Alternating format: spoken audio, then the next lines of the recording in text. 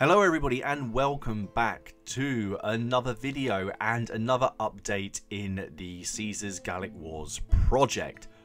So it's been a couple of weeks since my last update on this and I just wanted to essentially make another video show you where I am, what plans I've got going forwards and sort of where we are right now. So as you can see I've been working my way through this big box of plastic that came in the starter set that Warlord Games kindly sent me um, and I decided that for the next part of the project what I would do is work on another two core units and then reward myself uh, with uh, one of the metal units that Warlord sent me as a little bit of a, uh, a way of sort of patting myself on the back for getting through two units. So what I'll do, I'll show you the um, the metal units and um, I'll do a little bit of review of those sets um, and then at the as we get towards the end of the video you'll see all everything that I have completed.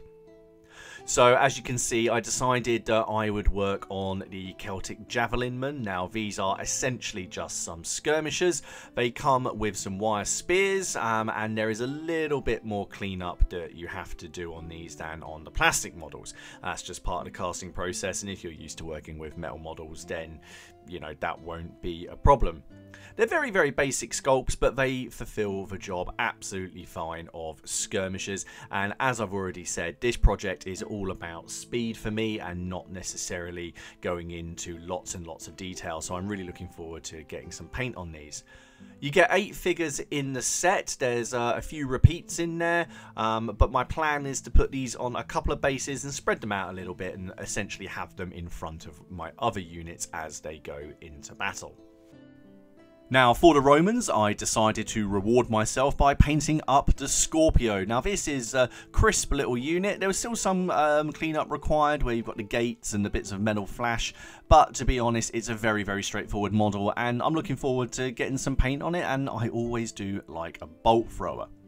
So skipping ahead a little bit, getting the models assembled was fairly easy. You needed to hollow out the hands, so you need to do a bit more prep work with these than you would obviously with plastic models. But once you've got the hands hollowed out a little bit, those wire spears will slide straight in. As you can see here, I've primed it again with the GW Colour Wraithbone, and as you can see, it's it's they're pretty straightforward models, and they should take the paint pretty well. There isn't a huge amount of detail to worry about, so I'm hoping I'll be able to knock these out quite quickly. My plan with these will be to mix colours as much as possible to get some variation across them. So even though the sculpts are fairly similar, hopefully they won't look exactly the same. So if I can add in some stripy trousers, some different colour metal helmets, and maybe some bronzes as well as iron, then hopefully that will make the models look different enough that you won't really notice that there's only a couple of separate poses.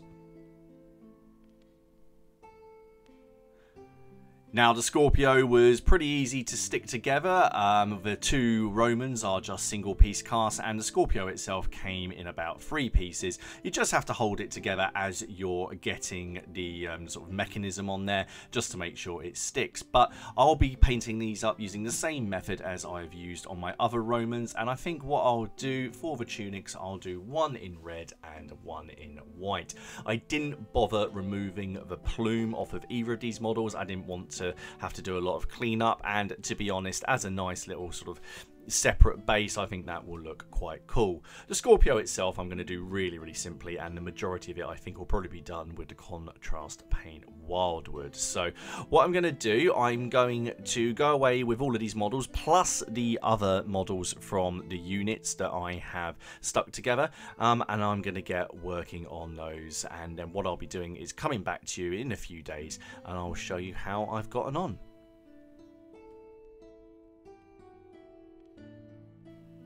Okay, so it's been a few days now, and I'm really, really pleased with the progress I made. So, the first unit I completed was the Gallic Javelinmen, or the Celtic Javelinmen, if you actually want to take them by the, the product name.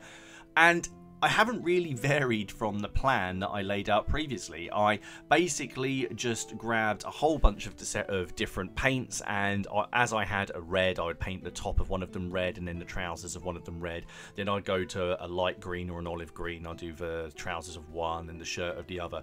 I used the same process um, that I used previously, which is picking out one with stripy trousers or one with a, something a bit different um, every now and then, just so there can be some variation across the whole unit and add a little bit of visual interest.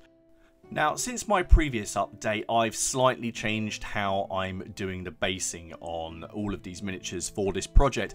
Now, uh, it was it was pretty straightforward what I did before, but as I looked at them, I just felt that there was a couple of things missing. So I decided to add some patches of static grass in. So after I've done all the tufts and the ground mixture, I actually come back with some PVA glue and I just put in some blobs of PVA here and there and use my static grass applicator just to lay down some 2mm and 4mm static grass, usually in a summer spring mix from a variety of manufacturers. I just chuck it in one tub normally.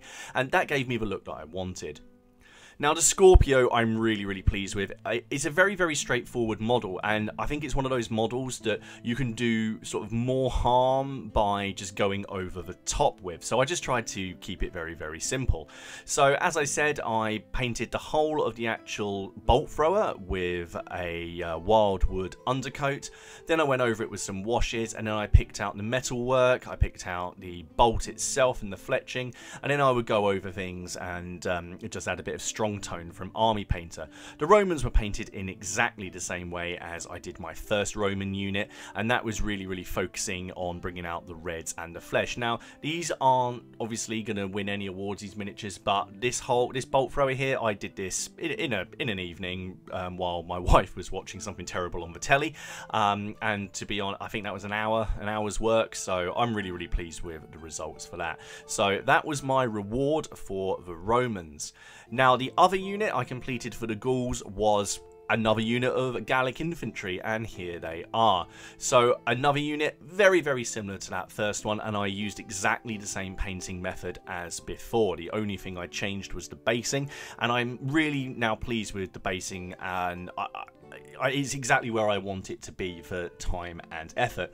Now for this unit I also added in the war horn and I added in a couple more sets of stripy trousers and was a little bit more confident with where I could put the war paint and things like that. So uh, as I said before in the previous video these miniatures are really really quick to paint up and they definitely give you that feeling of a horde army rushing forwards. I did find myself having to look at my previous unit to make sure that I hadn't used sort of heads in the same positions or um, that I hadn't sort of like doubled up on similar poses but to be honest, I've done 40 of these now and I'm gonna sort of double up at some point. As you can see, I used one of the metal casualties from the um, Celtic Casualty Pack just to add uh, another bit of interest onto the base, pretty much like I did with the Roman one previously. Um, and then I also added in a few more uh, bits of war paint and tattoos here and there. And I also tried to vary up the stripes I was painting as well and not just make them red and white or something and white. I decided to do uh, red and yellow and blue and green. Now, doing the flesh, I really seem to have nailed down how I really want to do that now, and essentially all I do is I lay down um, some Guilliman flesh or some Darkoath flesh oh, straight over the Wraithbone um, undercoat, and then I dry brush a medium flesh tone all over it, and it just lets me get through these really quickly, so I'm really pleased with how this lot are looking. Now for the Romans, you've guessed it, I just simply produced another unit of mixed Gladius and Pilum armed infantry using exactly the same method as I did previously. And, and as before, I've curved the ends of the unit around so you've kind of got that more organised look to this unit so it separates it visually from how the Gauls look. And I think on the tabletop, I mean if you couldn't already tell which ones were the Romans and the Gauls, just to sort of visually show that different style of fighting, you can really see. Now, I tried to do things a little bit differently. I added a Gallic head here to the Romans. Maybe it's just some Gaul who snuck in. I don't know. I was essentially just trying to play around and do a little bit of kit bashing where I could. Again, I've cut the plumes off quite a few of these and I've added a few more dents and cuts into the helmets as well just to make these this lot look like they've been on campaign with Caesar for a long time. The shields were done the same as before using uh, pigments to give a nice sort of colour grade from the bottom And what I'm really, really pleased with on this unit is what I managed to do with the Centurion. So I decided only to have a standard bearer here, but I wanted the Centurion to look a little bit different from the previous one I'd done. So I had a look through my sprues and I found um, a sprue of early Imperial Roman Auxilia that Warlord had actually sent out previously when you bought rulebooks or, or some orders, just as a bit of a, a free gift. And one of them had a, uh, a Gladius, one of the arms, so I snipped that off, cut it at the elbow, and then repositioned the Centurion here, so he's now in this pose. You know, a bit of a bit of a challenge, a bit of a sort of, you know come at me pose. And what's quite cool is it has this neat little bangle on the arm as well, so a nice little detail to add some more interest to the unit. Obviously, it's a break in formation, but again, visually, it's just a gap in that shield line which we associate with all of this Roman infantry. So doing that kind of thing I find really really adds a lot to a unit. It was a really simple just arm swap basically and just trimming the arm down to the elbow and then just positioning that um, sergeant, not sergeant, centurion in such a way um, that you, you, get a little bit more of a dynamic look to him and it just brings a lot to the unit. So I'm not quite sure what I'm going to do for the next unit to try and separate it a little bit but I'll have a good think and just try and come up with something. Now, this is where the project sits at the moment. So I have two units of Romans completed, just simple heavy legionary infantry. I have the Scorpio, and then I have eight bases of Gallic infantry that I've split into two standard units.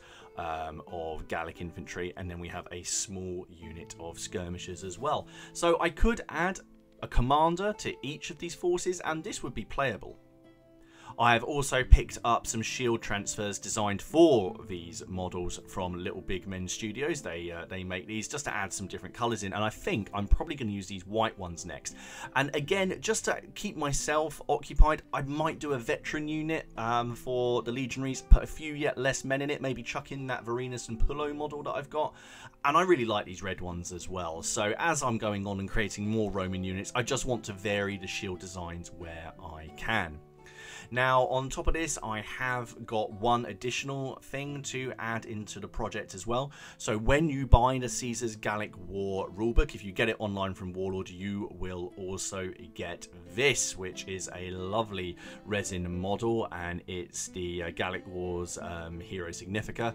Um, basically, it's the guy that jumped off the boat and said, "Follow me if you don't want to betray your soul, uh, betray your eagle to the enemy." Um, when Caesar had his little foray into Britain, and I've got a really neat little idea for a command base with him. So this will probably be the last update on the Gallic Wars before Christmas. I am still working on the project, but as I complete the next couple of units, I want to do the painting videos. Now, I've had quite a few people ask me about the painting methods, and I just want to be clear that the methods I'm, I've used to paint these aren't, the actual painting aren't anything new, it's not anything groundbreaking. What I've tried to do is really pick where I'm putting the paint to cut down on the amount of time it takes. So for example, the Romans, the shield covers 50% of the body, so I haven't bothered detailing those areas. So what I'll do is I'll do one for the Gauls, I will do one for the Romans, and then I'll do an update when I've got the rest of the box painted. But my goal for the next update will to be have uh, the other two units of Gallic infantry painted, another unit of Romans painted, and a commander for each. Anyway, I hope you guys have enjoyed this update. Please keep tuned to the channel. If you liked the video, chuck a like down below. If you've got any questions, do the same. I hope you all have a great Christmas, and I'm looking forward to seeing you all again soon.